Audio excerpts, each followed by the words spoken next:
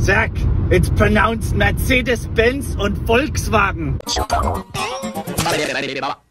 Okay, okay, but I really like your BMW. Nein, nein, das heißt BMW, Bayerisches Motorenwerk.